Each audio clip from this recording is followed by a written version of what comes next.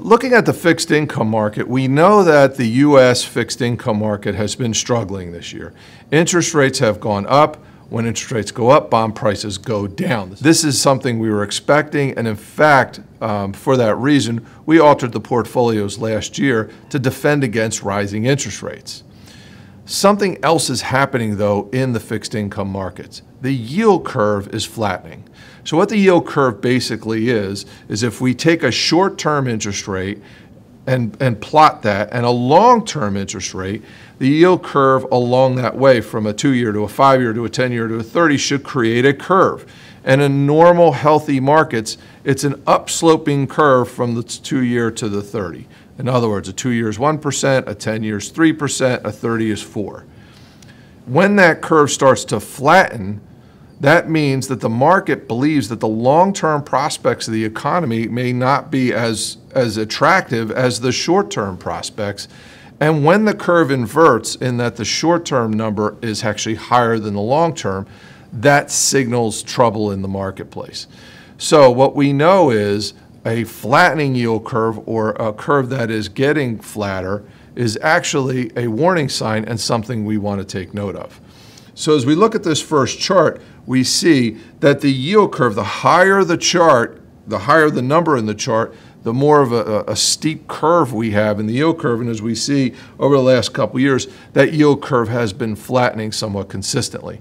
Now, the reason that's happening is because the Federal Reserve is raising rates so the short term rates are coming up. They've actually been coming up very quickly. The long term rates are moving much slower, therefore, a flattening of the curve.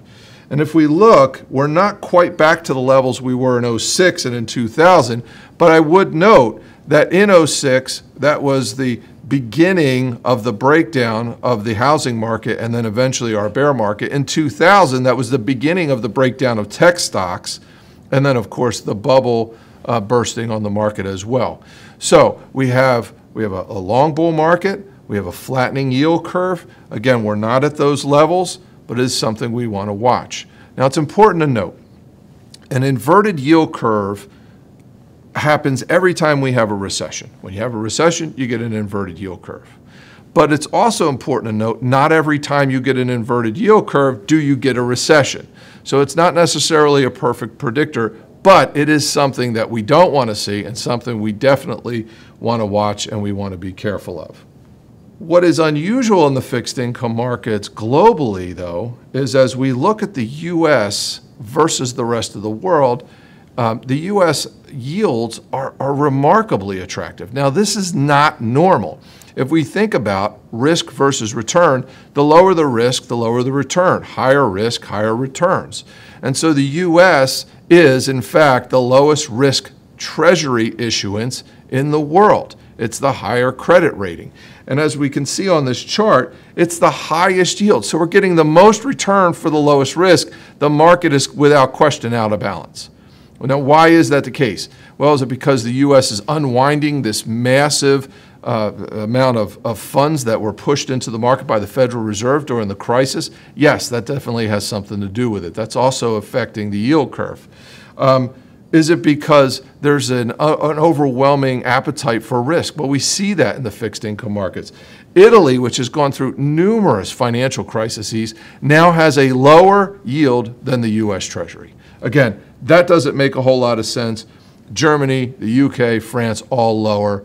Um, so it's something we take note of. That tells us we don't want to run off to the developed markets to invest money. Um, we want to be very careful there. And speaking of risk, um, again, as we look at yield spreads between treasuries and investment grade and investment grade and high yields, what the market's telling us right now is no one's worried about a recession and no one's worried about defaults.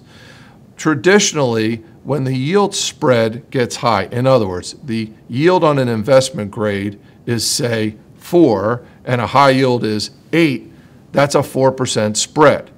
So when those spreads are wide, the market's saying, I'm worried. I need more return to take the risk of a high yield or a junk bond. When those, when those spreads get very tight, that means the market's not worried about default. They'll accept smaller returns to take on risk. Well, where we are today is below the norm. These spreads are very, very tight. So, what that tells us is you're just not getting paid to take risk today. Um, even though we're positive on the economy, we're just not getting paid for taking risk. And so we're going to remain very defensive in our fixed income portfolios. Stay away from risk, high quality, stay short across the board, floating rates so that if rates go up, our bonds don't go down. This is not a market that we want to take chances in when it comes to the fixed income markets.